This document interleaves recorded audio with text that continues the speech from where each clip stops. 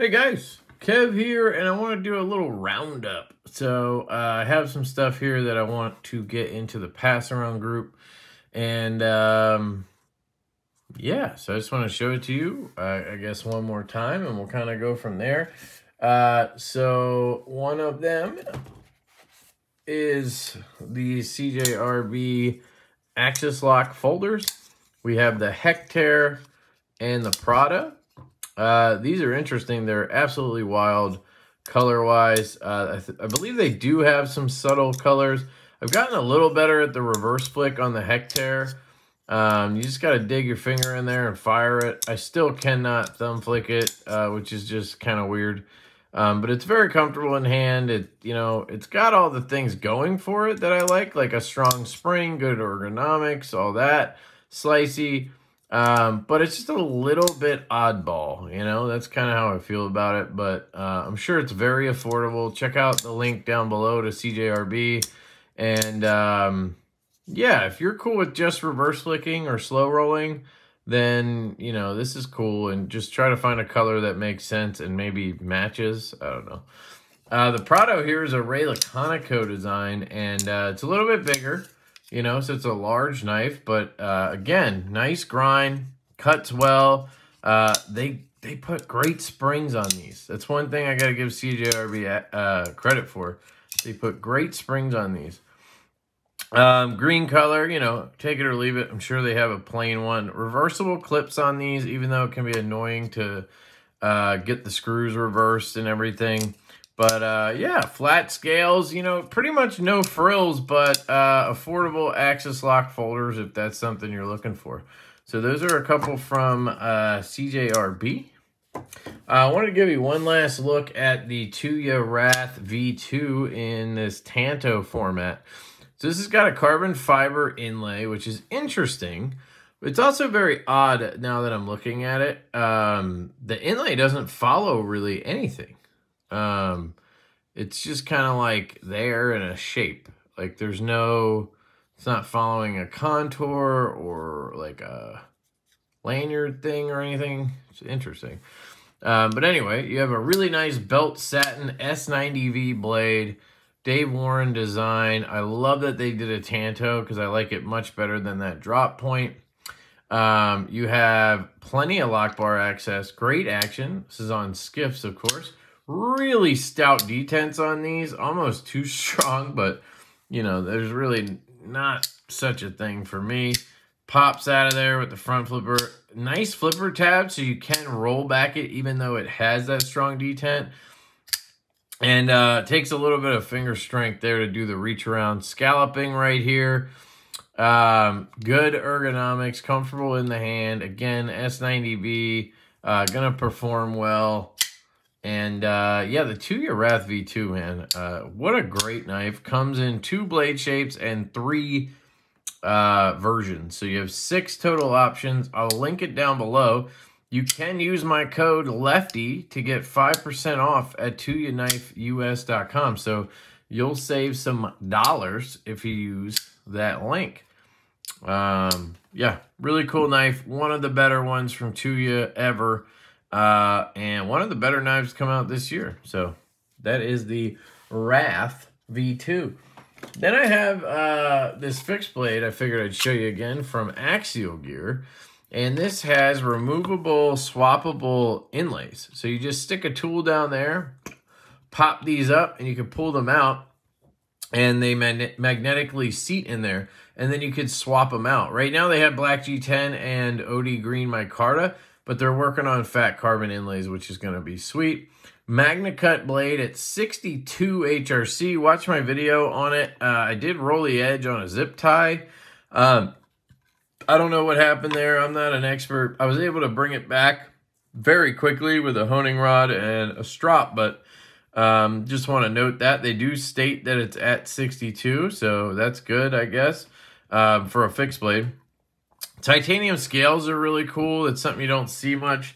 It's very comfortable in the hand. It's a very good cutter, very good slicer. Comes with this lanyard with a titanium bead and a very nice sheath that has an ulti clip on it. And there's three blade shapes. Wharncliffe, uh, sort of a Tanto, and this drop point. So you have a lot of options with this guy. Go check them out. I have a link to Axial Gear as I have a link for all these apparently. Uh, I have a link for Axial Gear. You can use code Lefty05. That'll get you 5% off your purchase over at Axial Knives, uh, which is kind of cool. USA made, by the way, fully machined and made in the United States, which is very, very cool. The next one up is from Kube, as my buddy Stevie would say. This is the Kube Verijero. And uh, this one's pretty sick because, well, it's $118. It's $118. It's in titanium, blue accents, titanium accents, obviously, clip and everything. And then you have a belt satin 14C28N blade steel. The designer is not anybody I've heard of before. I believe his name is George, and then it's a Eastern European name. I apologize. Um, but very, very cool. Uh, the price tag is really what's crazy about it. And you can use my code, which will be down in the description. It's like LT06YT or something like that. I think it's like uh, lefty LT and then 06 for 6% and then YT for YouTube.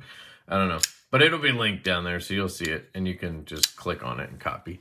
Um, but you can save another, I think, 6% on this guy. So, you know, you pay somewhere around 100 bucks for this thing, which is pretty wild. Uh, very comfortable in the hand.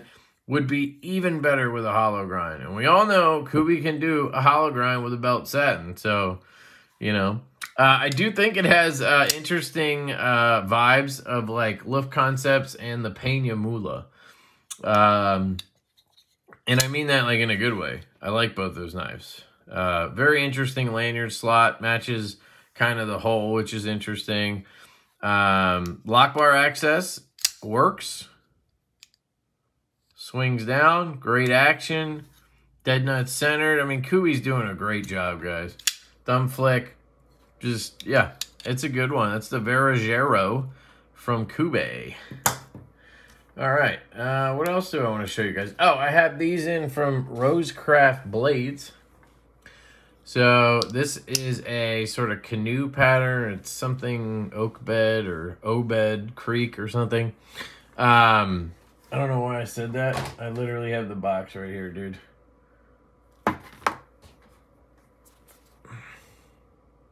Obed Creek. Hey, bow trapper. I was close. Now, these are at traditionalpocketknives.com. So you can go over to traditionalpocketknives.com. Link down below. And you can use code Lefty10 on Rosecraft knives, uh, blades. So I can actually give you 10% off of Rosecrafts now at traditionalpocketknives.com. These are like $60.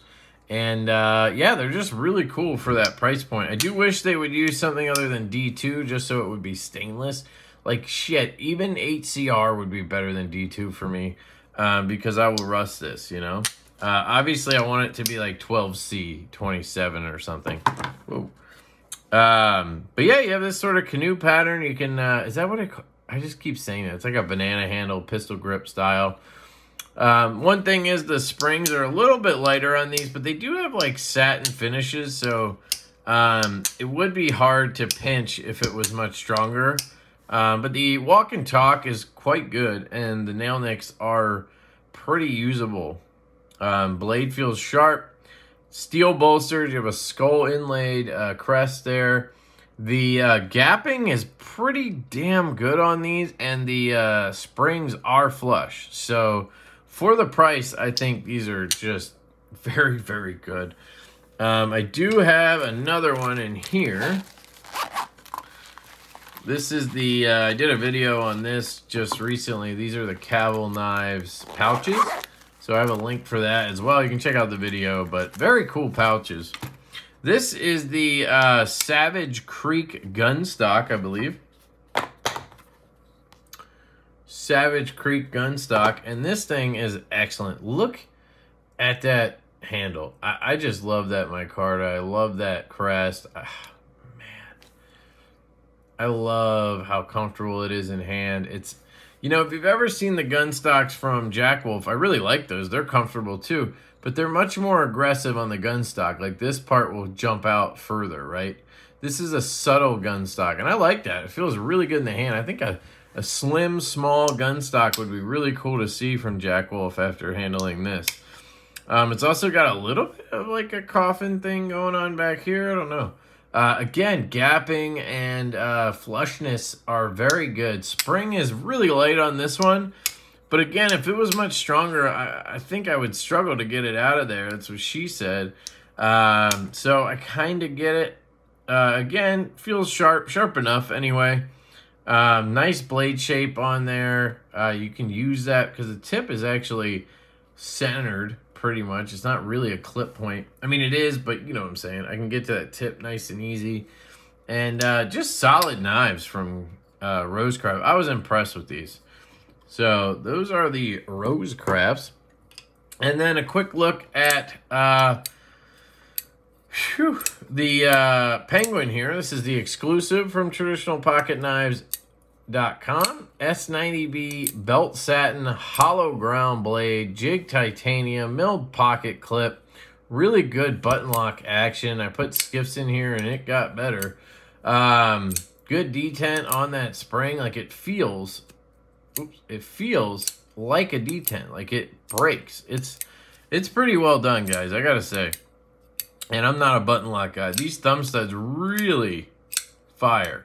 If you hold that button It'll swing down. Um, dead nut centered, like just quality here from QSP. Great work from Traditional Pocket Knives, getting QSP to dial these in, making those changes that make it, you know, better cutter, more comfortable, all that kind of stuff. The things that uh, Austin is very good at. So that is the uh, QSP Penguin exclusive. Let's see, what else do I have? Um, well, you guys have all seen this a bunch of times, but the Berg Blades Mini Sweeney. I don't know if these are still available. They did the drop uh, last week on the 15th. But this is one of my favorite knives this year. I mean, I have a good number of knives that came in early in the year that just really stole my heart. Um, this, the uh, Mini Tempest, the Paramour, the um, the uh, X-Mid, the uh, CKF Dabless. There's just a, a bunch of them, really. Um, but this is probably my favorite out of the bunch. I absolutely love this knife. He had a, five new versions available on the drop, so hopefully they're still available if you want to pick one up. Um, but definitely check it out if you have not. And uh, yeah, that's pretty much it, guys. I think that'll that'll do us for this episode of Rapid Reviews. You got the Mini Sweeney from Berg Blades. You got the uh, Kubey Varadero. You got the Rosecraft Obed Creek. I forget. You have the Savage Creek Gunstock. Tuya Knives Wrath V2. QSP exclusive Penguin at Traditional Pocket Knives. And you have the CJRB Prado, CJRB Hectare, the uh, Axial Knives fixed blade. Right there. I think that's it. I mean, just for shits and giggles. The Premium Pony Stouts. These are dropping on the 22nd as well with those penguins. I have told you guys about them a million times, but that's my job. So uh, these will be dropping at White Mountain Knives at noon Eastern Time on the 22nd of March. There'll be 175 retail. Use the code Lefty10. There'll be $157 out the door. S90V titanium scales. I don't know, man. Good knife. Anyway, uh, that's it, guys. I love you. I hope you have an absolutely fantastic day. And if you need links to anything, shit, there's going to be a pile of them down there. I didn't realize they were all things I had links for. I don't have a link for Berg. So, haha. I'm not a shill. All right. Anyway, I just wanted to get these wrapped up so I could get them into the pass around. So that's what it's about for me. But uh, if you guys do click those links, it does help. So, hey, you know, can't hurt. Anyway, love you guys. Hope you have a fantastic day. Come check out the live streams on Thursday nights at 9.45 p.m. Eastern. I'm always giving away awesome stuff, just like all this stuff. And uh, I love hanging out with you guys and chatting. It's an absolute blast. So uh, check out the live streams. You know, subscribe, hit the subscribe button. It might be right here. And uh, I love you guys. I'll catch you later. Peace.